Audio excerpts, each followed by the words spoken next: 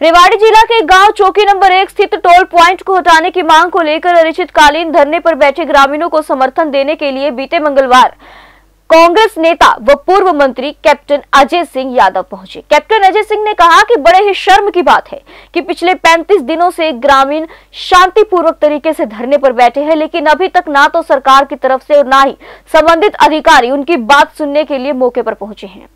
सरकार पर तंज कसते हुए कैप्टन ने कहा कि गूँगी भैरी भाजपा सरकार को न जनता दिखाई देती है, न ही उसकी आवाज़ सुनाई देती है। उन्होंने कहा कि पूरे हरियाणा में आज के दिन कहीं पर भी टोल नहीं लग रहा है, जबकि हमारे क्षेत्र में सरकार द्वारा नए टोल लगाए जा रहे हैं।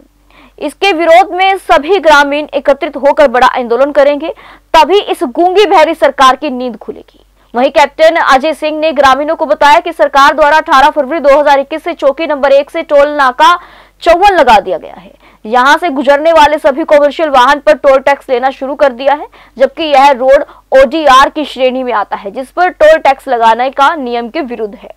उन्होंने कहा कि सरकार द्वारा इस तरह का आर्थिक शोषण व भेदभाव क्षेत्रवासियों के साथ अन्याय है। उन्होंने पीडब्ल्यूडी के ईसीआई व एक्सीएन से इस टोल को तुरंत हटवाए जाने की बात की। एक बात चाहिए चिरंजी राव वहाँ प्रतिनिधि है, जनता का चुनाव हुआ है। उसका जो है उसको प्रॉपर इनविटेशन नहीं दिया। कार्ड पे नाम नहीं है पत्थर पे नाम नहीं है।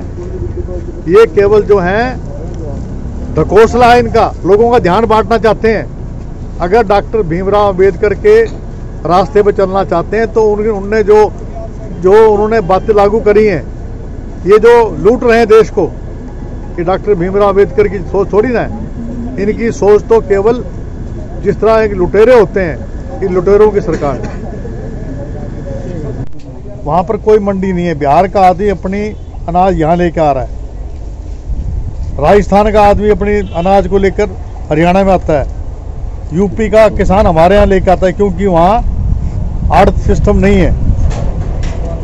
ये जो बड़े बड़े व्यापारी हैं दो तीन जो बड़े बड़े व्यापारी हैं, ये आड़त के बाहर किसान से पहले ज़्यादा भाव में खरीद लेंगे। और जो आरती हैं, वो भाग जाएँगे। उसके बाद फिर आप केवल उनके भरोसे रह जाओगे। वो ज़मीन, चाहे आपकी आपकी जो वो, जो भी आप अनाज बेचेंगे, चाहे गेहूँ हो, चाहे वो हज़ार में लें, चाहे पंद्रह सौ लें तो आप उनके भरोसे बैठ जाओगे।